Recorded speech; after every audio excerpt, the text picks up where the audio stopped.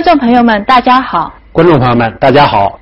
今天我们向大家介绍的是2014 QQ 游戏天下棋艺全国男子象棋甲级联赛中，四川郑伟彤对江苏陈明的一盘对局，由我和李鹏大师进向大家进行讲解。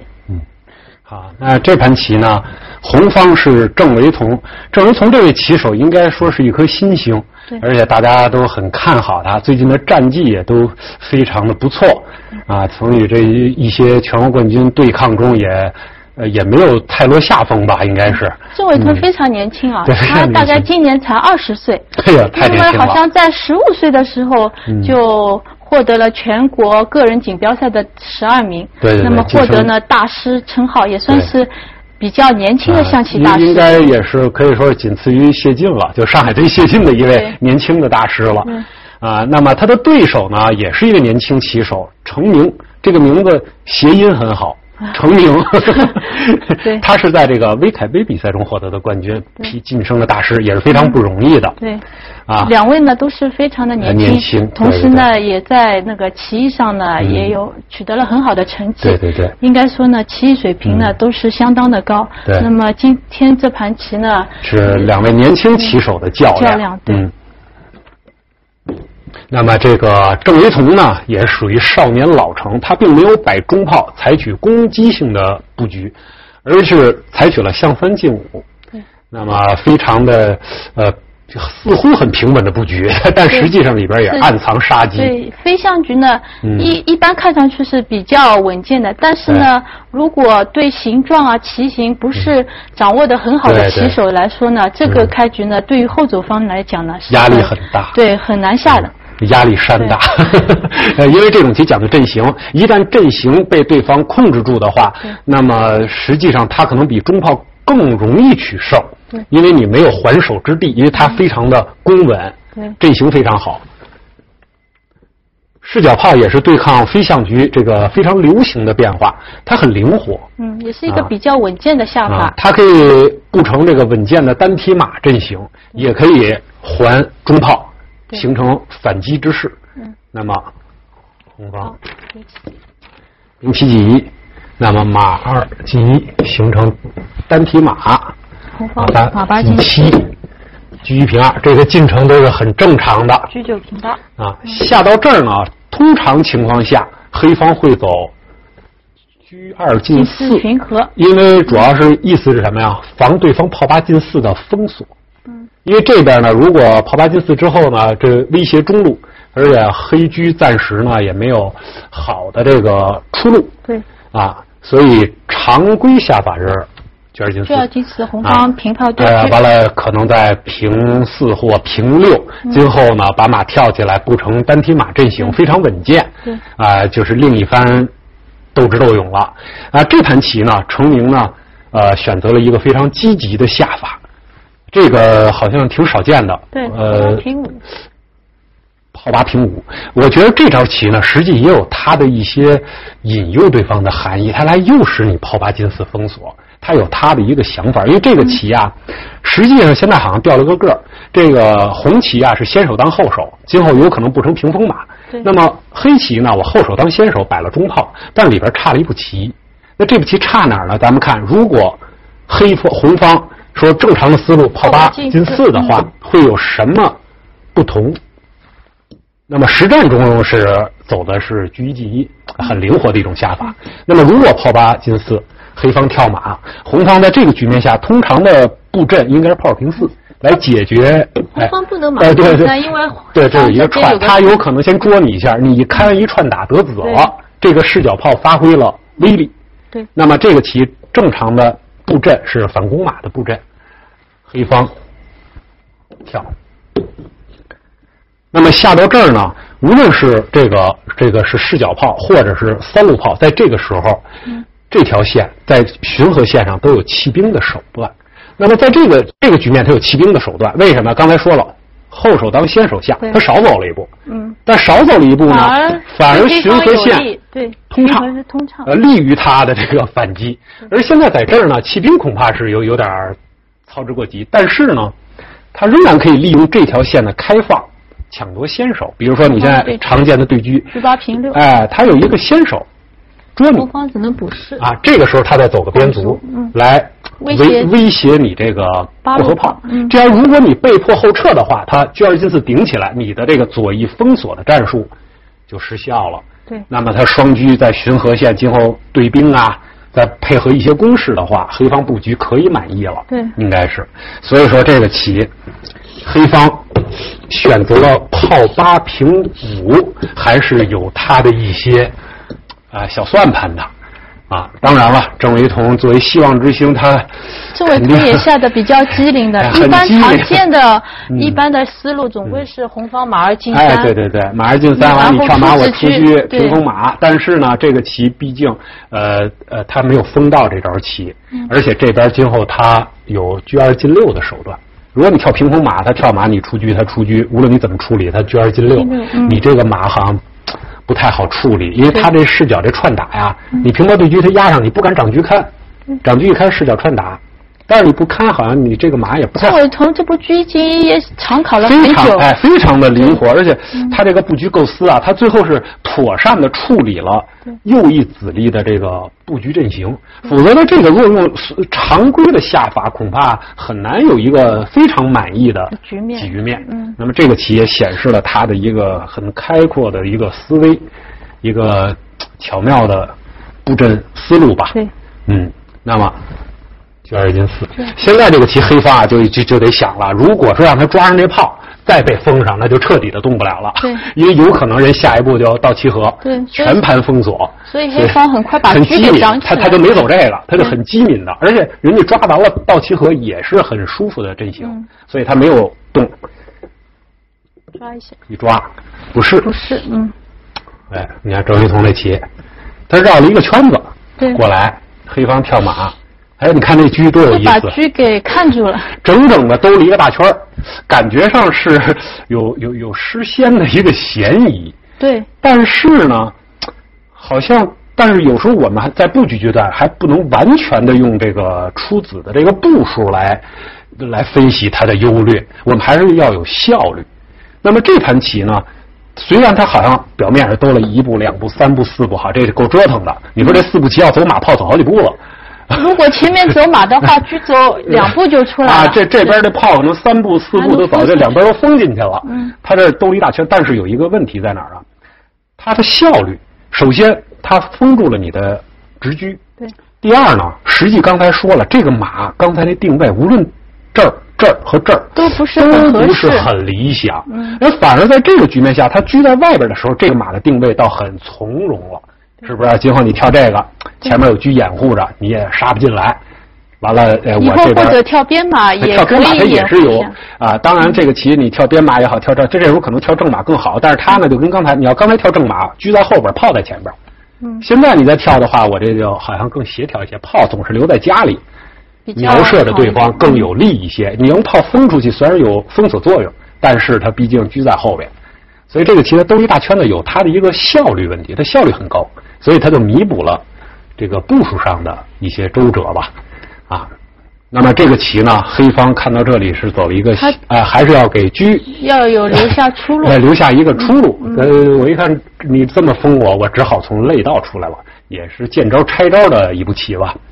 那么你看这黑红方还不跳马，他就是我就不跳，我还不能保留着定位哎我保留着变化，因为我这马跳起来也没什么作用嘛，我先补一手，我先看你你想怎么弄我，怎么攻我。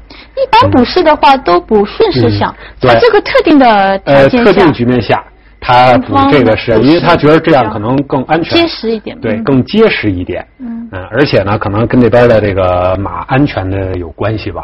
从中路的进攻来说，它马的定位今后可能还有一些选择。如果你要是不不这事，这马恐怕只能在这儿掩护着中路和这个底线了。对这样可能更灵活。当然了，这可能也没什么。现在这个局面知这个事还是比较感觉比较协调、舒心的 啊。那么这个棋呢，现在是出车。出车了吧？嗯，出局。那么这个时候，马二进三跳下来了。这个棋啊，黑方这个阵型也是挺奇怪的他这个车啊没有好位置，嗯，不太好走。如果走巡河的话呢，两个车就重复了。重复了，而且你不知道什么时候还被人对利用一下，利用一下，嗯。蹬你一脚不太好走，是吧？那这个时候如果卒七进一的话，嗯。那红方顺势就兵三进一对兵呃，也有可能，嗯。但这个时候呢，黑方这招棋也，因为他不着急抢这个卒七进一，为什么？因为你也不可能拱，你拱起来，你的车的巡河线被挡住了，所以这个卒呢，黑方反而倒是很从容，冲卒。那么这个棋下到这儿呢，实际还是一个很正常的进行。那个红方呢，可能还略持一些先手；黑方呢，子力也都基本就位。那么红方想开展局面，就需要一些手段了。手段嗯对，那么红方呢，在这盘棋中呢，他寻找到的黑方弱点呢，就是这个三路三路线，线这个黑方的底象。那么他如何开展呢？这个也是给这个棋友们一个很好的启示。兵七进，送了一个。这个比较奥妙。对，一这般个这个物质上损失很大。想到这一招嗯对，物质上，但是这个确实是一个打开局面的好一步好棋。嗯他呢，一个是把这边的牵制解决了，还有一个呢，确实对黑方的这一侧有压力，施加了一些压力。这个没办法，只能能去吃兵拱打死车了。对，马七进六，跳起来。这样的一个形式呢，下一招很显然，它可以炮八平七，嗯，牵住，然后呢，呃，一时半会儿你还很难调形。然后我有机会的时候再看看这个车的定位啊，这边能不能再配合上的一些攻势啊。当然，实际上下到这儿呢，黑方并没有太大问题，只是说可能今后遭受一些牵制而已。对，啊，就说黑方红方利用了黑方那个飞边象，哎不能对及时及时的调整阵型。这俩象想连上还挺费劲的对对红方呃黑方的那个三路线呢进行攻击。对对对，嗯那么这个这俩象连上挺费劲的。那么今后如果你想解决这问题，你至少在先数呃这个度数上面要多费周折。啊，实际上这个时候黑方冷静的下法应该是卒七进一了，就是还是先把马开通。如果平炮的话，哎黑方可以马七进六。呃，一个马七进六，一个更稳健的呢，我就就全都保上，我看你怎么攻我。啊，这样下，嗯，这样下的话，呃，慢慢的再下吧，中路没机会，还再攻哎什么拆炮把象飞起来，就慢慢的把这阵型再给圆回来，然后仰仗着，毕竟有物质优势，对方是子力占位优势，我有物质优势，慢慢的形成一个互缠的局面，还是黑方也还可以。那么这个棋呢，当然了，那但是黑方呢，觉得他已经多了一个卒，马上呢就这样迁就呢，就也不愿意。甘心。对，这个黑方也有他想法，这个我不能甘心，我多足了位置也还可以了，我这无非就是底线的问题。那么底线我给他处理了，不完了？所以他呢现在走了一个马一进二。这个棋的想法就是说呢，就是今后大不了我把象飞起来，飞起来，对，是不是？完了，我马冲到前面去，总比在后边受罪要强多了，嗯，是不是？但是正是这招棋呢，给了红方扩先的机会。那么这个棋红方如何扩大先手呢？我们一会儿再给大家继续演进这盘对局。谢谢大家。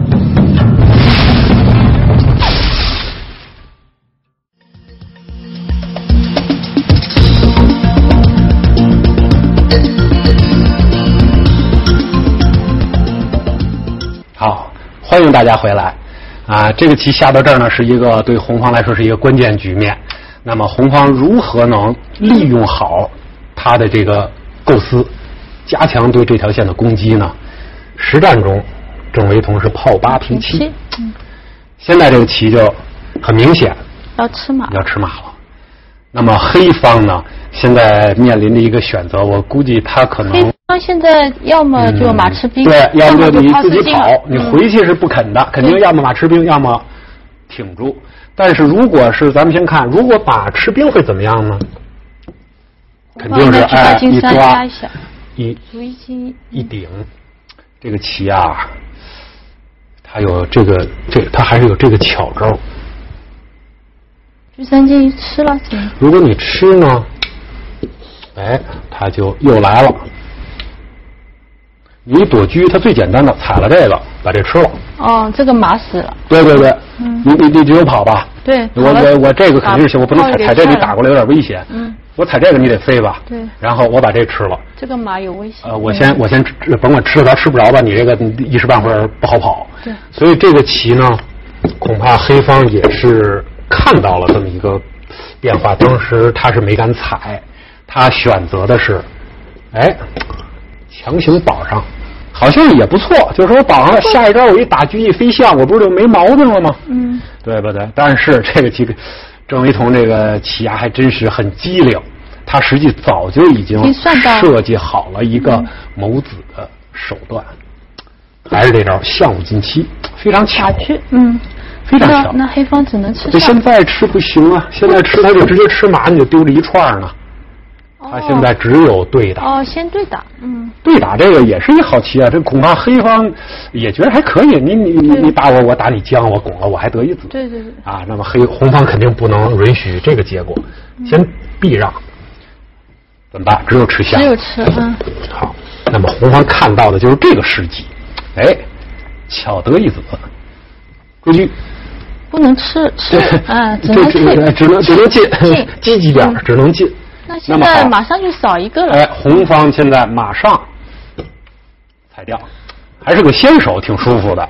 第六进二，第六进二嗯，那么黑踩掉这个，那么下到这个局面下呢，咱们这个简单的分析一下局面，嗯。是红方啊通过一个精巧的战术手段多了一个子多了一个子，嗯但是黑方也不是一无所获，因为毕竟黑方换掉了，就是算算是换吧，换了红方一个象象，而且在这边车呢也打进去也被，也车也被打回去了。对，完了呢，呃基本上呢这边呢也集中了一个很大的兵团吧，也是司机啊，趁对方缺象的这个时候。呃展开一些呃攻势。如果这时候红方说我得了一个子，我就抱着脑袋想办法守住，然后呃 很消极很消极的对子的话，那么这个棋还真不好说。也许在进攻中，红方可获得一些更大的利益，来削弱你的多子优势。嗯这个，而且你现在这个马位也不是说很好，有可能呃被对方偷袭啊，都有可能。通过这个战术手段的交换，那么到底就是陈明也许会觉得，嗯。他觉得这个黑棋觉得他也可能蛮好。也，这个，我估计哎。他们这种东西应该都能看见。郑维彤算好了，程明可能也看了，只不过理解不一样。对。郑维彤认为我得子好，那个程明认为我丢一子，我这个子力位置好，把你车打回去了，我还多可以接受。呃可以接受。嗯。那么就看两位到底谁判断的更准确。那么下一招。程明，这招棋也是必要的。首先加固中路，第二，你别老这个瞄着我呀，这个影响我的这个出子了速度。看郑维彤毫不手软，他并没有说采取一些什么说加强防御，对多子慢慢下没有，他是直接就展开了中路的牵制。对，这个打掉的话，底线立刻就就就就出奇了。那么黑方仍然不允许，这招防守也是很到位，很好的嗯既可以保足，又可以下招。哎，我偷吃你这马，你这马还是有点危险的。对，红方还是非常积极，还是围绕对，还是围绕你的中族中族呢做文章。做文章他根本就不考虑说我后防如何防守，我还是是先进攻，先攻你再说，然后我多子嘛，总是有余地，对对吧？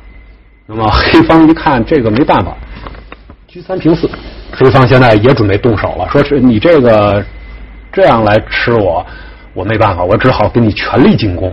黑方呢来削弱准备马哎七四这样对东我朝甭管你吃不吃了，我就这两脚，反正蹦到这儿来，你这边啊，一时半会儿也挺头疼。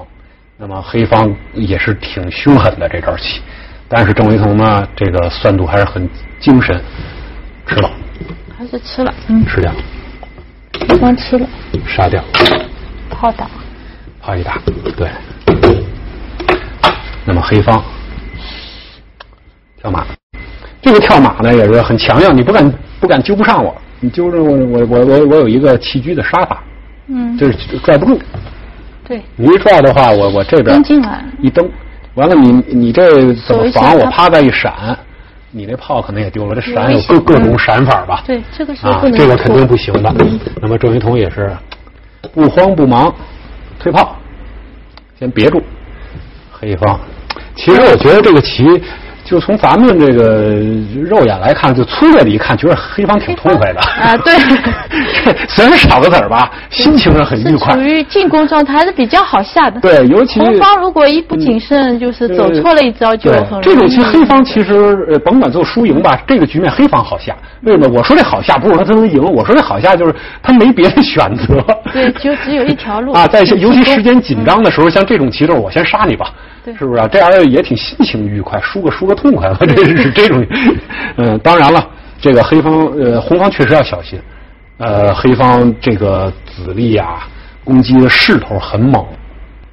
那么这个是必然的招法。黑方这招很凶，准备点下来，直接就准备点下来了。嗯，点下来完了飞象。他也并这这个红方也不采取一些什么消极的办法，比如说什么哇我这么扛一扛啊，他也不消极，他已经算准了，说没事儿你来吧。他赶快把那个左车先出来。他现在还是着急，说现在如果那我现在能对车是最好的，如果能对上这车是最理想的，我多子就呃稳稳健了，很稳的就获胜了。那么黑方岂能容他这么舒服？一点很凶，红的没办法了，平车。看上，红方仰仗着多子的优势，准备一车换二。一车换二，他已经算准了这个一车二以后，我这个棋就是呃，虽然少希望很大，嗯，但是那个获胜的机会还是因为红方黑方没有过大的一些什么物质上的补偿，因为物质上红方还占占有优势，多子还还多兵，无非就少个象。那么在速度上来说呢，只要我在攻势攻击速度上领先就可以了，是不是？那么这个棋点上之后呢，一看方换了吗？实战是换了。嗯。啊，这个棋呢，好像也没有太好的棋。如果说走卒三进一，下一招好像挺厉害的，车打死了直接。但是呢，红方好像有一个车七进二。哦，你打的话，他车七平八看上。对，你要是打的话，他就顶着你，他就这么来回顶着你。嗯。你也拿他没有什么太好的。那这时候再换。那你就无非哎，可能这么下呀，有一个好处就是多拱一步兵，也也也可能这么下，呃，可能会出现一些变化，呃，但是呢，就是说，呃，可能结果也差不太多，差不太多，但是呢，呃，还是我觉得还是应该走出这个来。啊，多走一步，多走一步，毕竟在今后的对攻中，你可能就要快一步。往往对攻就是一招棋，经常有棋友说了啊，我就差一招，是是吧？那么这个时候多拱一步兵，以后交换了以后，他这个三卒以后直接就可以走过来了。对对对，他快一步，那么这一步可能就会产生很多新的变化，所以这个棋感觉还是应该冲。那么红方好像也没什么办法，只有只有挡起来。对对，你一冲他好像有别的招吗？眼看着打着受不了啊。嗯，是不是？这这这，这好像你这都来不及嘛！你走这也不行，人打你打他把车跑了，你跑不了。有没有炮五平四？他就打你啊！打我退炮。他跑了，你跑不了。哦，我跑不了。人家。那我飞象呢？嗯，那他是不是这个这这这这？他跑完以后，他那边抓马什么的都好像。对，他要拱兵抓马了，这边再倒马登成，好像一一堆的这个手段。对。你飞象，你飞象时候他直接握将了，嗯，那你象就丢了，对，所以这个棋他他他还是得走这个，那么多走一步然后再吃，这样黑的多走一步卒。那不红的走炮平八有吗？嗯，如果你打的话，我有没有杀兵的棋？呃，你你现在走炮五平八，那他跟刚才一样，他握一将，最后他不还是多走一步卒？他现在实际你无论车七进二也好，或平炮也好，他都是多走一步，多便宜。那么感觉上还是还是应该多走这步的。对于今后的这个攻杀来说，因为这种棋黑方肯定今后要对攻。那村民看到能够换双，他就心比较急，赶快先换了，他就。他可能也他觉得这个棋虽然我少个子，但你还少个象呢嘛。嗯。他觉得这个棋没有什么问题吧？对。啊，他就直接就来了，可能有有点着急了，这个棋有点着急了。那红方换了。换掉，吃掉，打掉，打掉。啊，好，打掉之后，这个棋应该是出这个卒，卒七进一，卒七进一，马一退二，退象，嗯，完了是退兵，红红方现在多子，他就是说想办法把我的子弟全都活跃出来，都走到哎都走较好的位置哎较好嗯位置，然后我只要一拥而上，人海战术，我就赢了。不过感觉这个棋黑方那个还不不会很容易输。哎，对，感觉上应该还可以，但是意想不到的是，这个后边的这个红方招法真是干净利落，非常的，呃，很快的就把这盘棋拿下了，飞掉。然后这时候过足，你看，如果刚才多走一步，现在足已经过来了，卒已经过来啊，那这个差距大，那和红的想取胜，可能还真要比较困难。多受一些，嗯。多有一些变化，哎，老。那么黑方过足，继续过。卒现在就是老差一步棋嘛。嗯，原来如果在这里的那话，直接差多了，拱下来了，当当两下，那就 至少你在这儿，他们不敢走这个了吧？对。实战哎，走了一步妙手。你如果一吃士，我一飞卒，红方没有后顾之忧了，对我就踏踏实实的，我多子我就赢你了。嗯，所以这个棋肯定不不能接受可。以卒三平四嘛？啊，卒三平四他就跑了哦卒三平四这里要底叫将有闷攻，也不不行嗯这个不行，这个棋，那这就只有冲了吧这个？只有冲了。冲了。那么好，你看红方，咱们哦看他也走的比较强硬他也不补士人家都不要了嗯，他认为我这两脚够了啊。那么黑方确实一看这个啊走的退二这没法防守，赶紧帮忙嗯，来。咱们就看刚才少走一步足差距多大。对如果卒在这儿，他这都不敢走，全都不敢卒在走。这的话他对你你你的炮都得跑，你全丢了。对你看这差距很大了，啊，一跳，现在是黑黑方方走居四平五，居四平五垫上，嗯，嗯。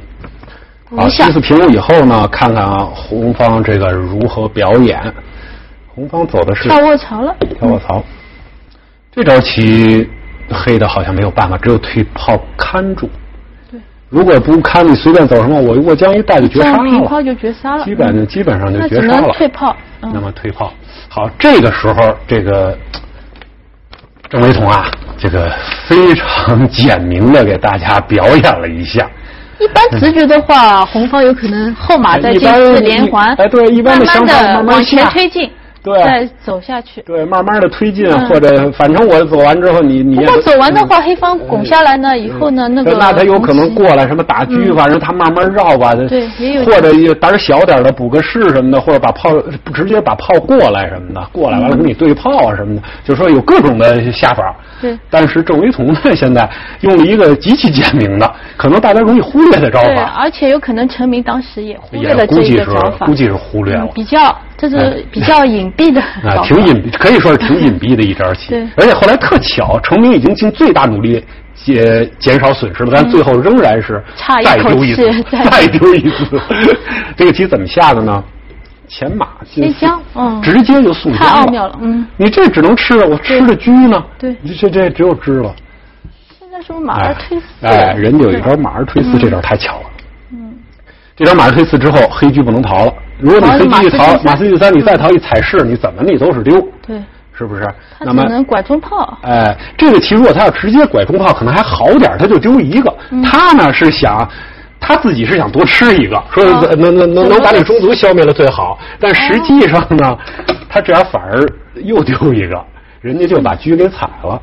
嗯，那他只能打，对，你打将，嗯，他电炮。人一电炮，嗯，一鞭炮这个棋，他只能突。然发现程明说：“哟，这个马吃了炮死了，因为如果你退一打，嗯。他随便把象落一象飞开，双炮你正好后边差一口气。对所以早知道这样，他还不如直接直接挂中炮 但直接挂中也输了，因为他少子还少兵。红方还多很多兵。那么这个棋下到这儿呢，程明一看这个棋也就呃也就做认输认输了。这嗯这个棋确实太巧妙了一招。那么这个郑维彤呢，这盘棋的表现呢是非常的好，突出嗯嗯，非常突出。最后在布局阶段也是攻防非常的冷静，啊，呃，在得子的情况下没有手软，继续发动进攻。结果郑伟彤赢了这盘棋以后，他们队的情况怎么样？他们队昨天是一个什么情况？叫四川还有谁？好像加赛快棋了。对，有可能。好，那这盘棋咱们就介绍到这里。好，谢谢大家。好，谢谢大家。